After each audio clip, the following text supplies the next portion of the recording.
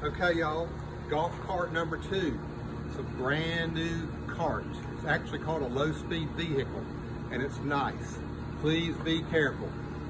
It runs the same way as the other golf cart, except it's got more bells and whistles. But your key has to be turned on.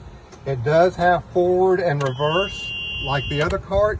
One thing on this cart is you have to release the parking brake when you go forward and when you stop and you're done, you have to put the parking brake on.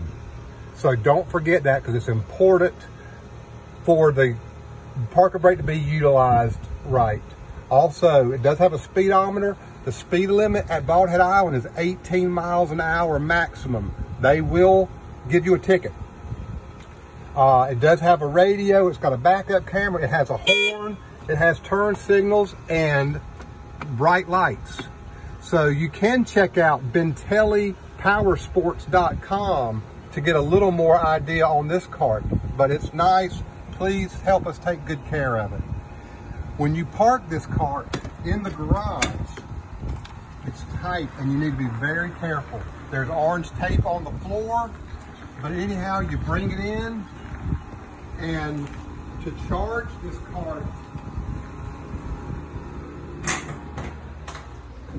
you raise up the seat and grab the cord out of it and it plugs into the wall, into this orange outlet.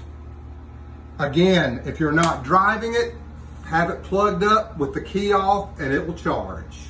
When you leave, make sure you unplug it before you leave. And it has to have the key to operate and we only have one key right now, so don't lose the key.